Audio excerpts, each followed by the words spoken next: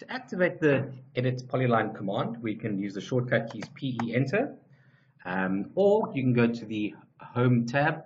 Um, you can click on the modify drop down button in the modify panel and then select edit polyline.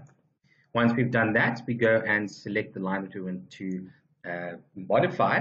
Um, it's not a polyline yet, so uh, AutoCAD asks us, it's not a polyline, would you like to turn it into one?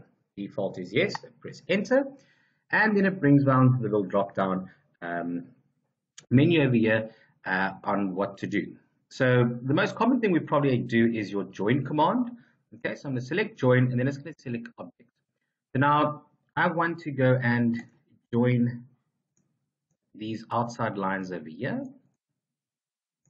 because I want the outside profile because maybe I want to extrude it uh, to make a 3D uh, model out of it. Press enter to, um, to enable that uh, command and press enter again to end the command. So now what happens is I can select the outside profile and you'll see there it actually selects everything. So now that is now my, my polyline.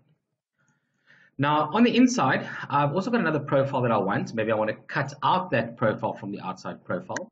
Um, and I'm going to use a different uh, command to, to turn it into a, a polyline. I'm just going to use the join command. So where we find that is under your modify and you've got your join command or you know if you can't find it just type in join. That's the great thing about AutoCAD. You can just type in what you want. You don't have to go and, and fiddle around on the ribbon. I go and select all my, uh, my lines that I want to create, press enter, and then you'll see there that it's created a polyline out of that. Um, and those are two different ways on how to create polylines. Thank you very much for listening.